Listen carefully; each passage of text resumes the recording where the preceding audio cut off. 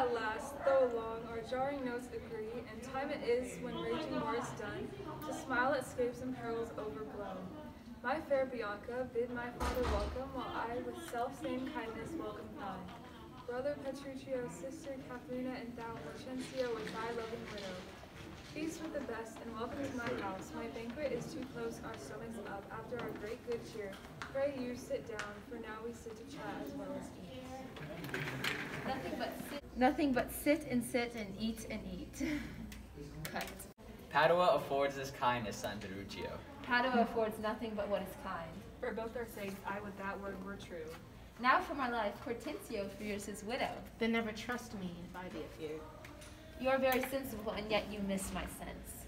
I mean, Hortensio is afeard of you. He that is giddy thinks the world turns round. Roundly replied.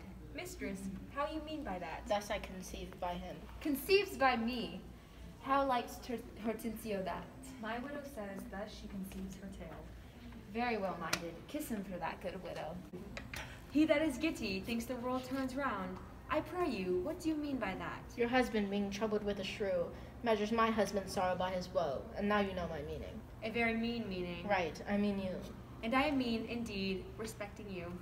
To her, Kate! To her, widow, A hundred marks my Kate does put her down. that's my office. Spoke like an officer, hat to thee, lad. Gremio these quick-witted folks. Believe me, sir, they butt together well. Head and butt, and hasty witted body would say your head and butt were head and horn. Hey, Mistress Bride, hath that wakened you? Aye, but not frighten me, therefore I'll sleep again. Nay, that you shall not, since you have begun. Have you have at you for a bitter jest or two. Am I your bird? I mean to shift my bush, and then pursue me as you draw your bow. You are welcome all.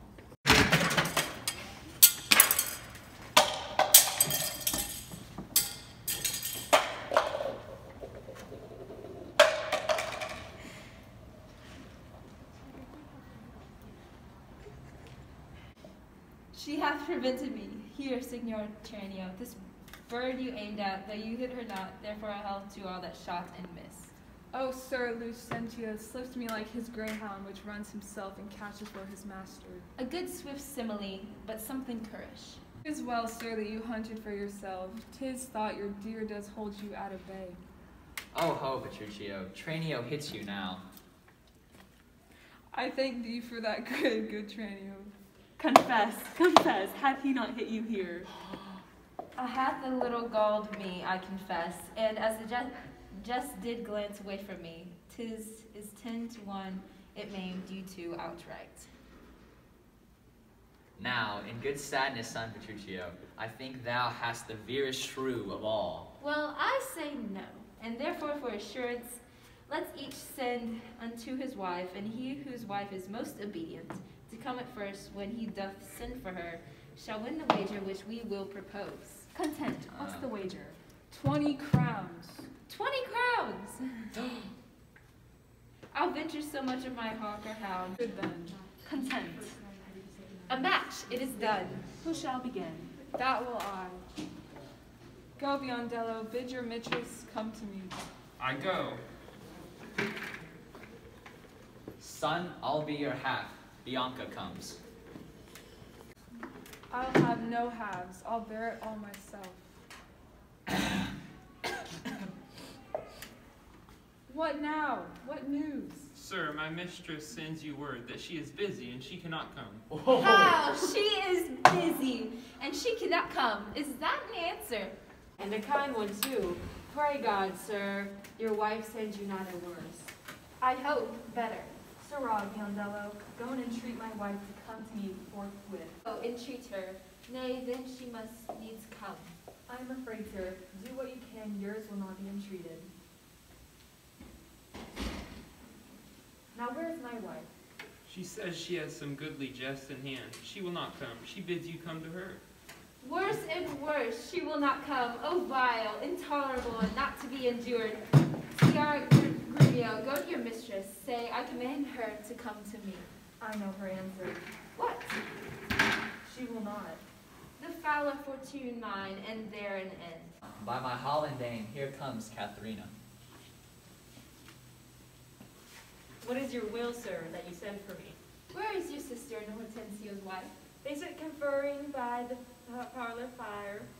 Go fetch them hither. If they deny to come, swinge me them soundly forth into their husbands. Away, I say, and bring them hither straight. Here is a wonder, if you talk of a wonder. And so it is. I wonder what it bodes. Marry, peace it bodes, and love, and quiet life, and awful rule, and right supremacy, and, to be short, what not that's sweet and happy. Now fair be hath thee, good Petruchio.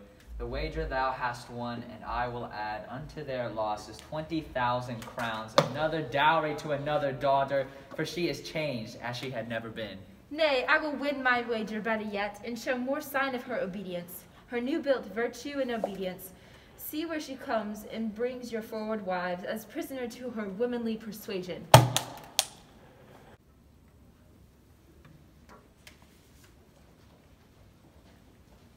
Catherine, off, that cap of yours becomes you not. Off with that babble, throw it underfoot.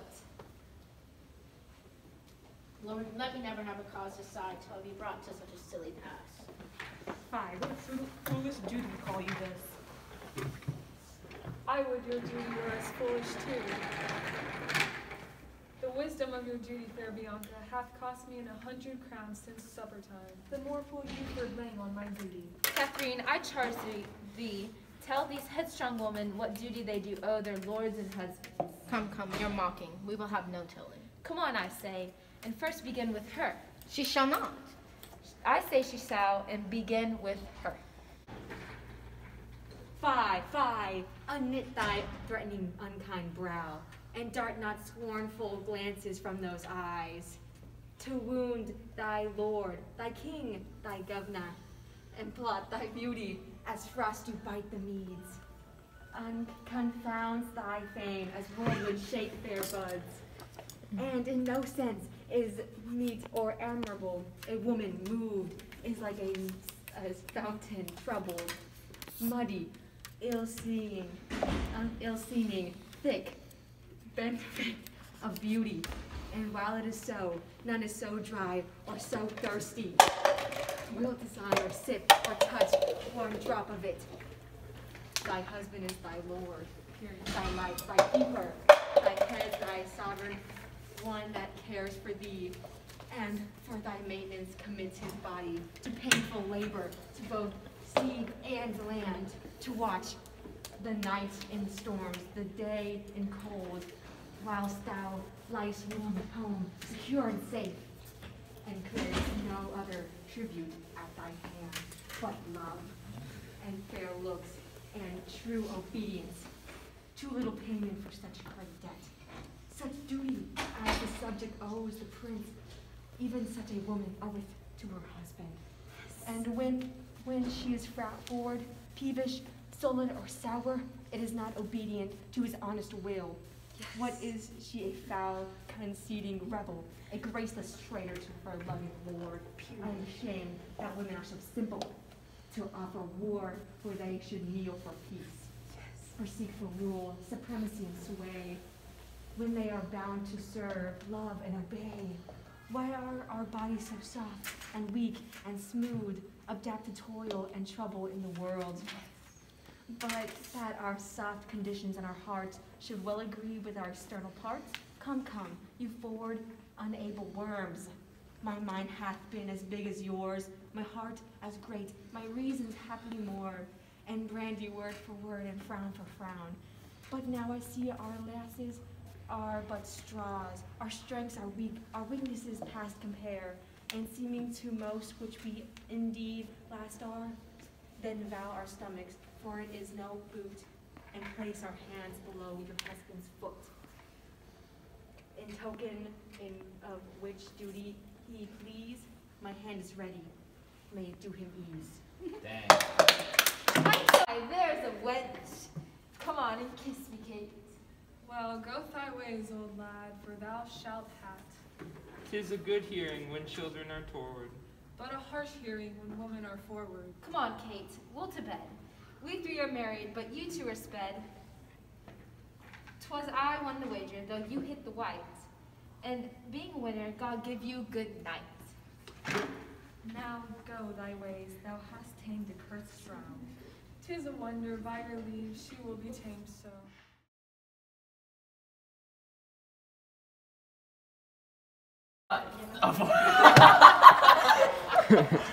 A very mean meaning. Right, I mean you. And I am mean, indeed, Dang. respecting you. I'll venture so much of my hawk hound. Pray God, sir.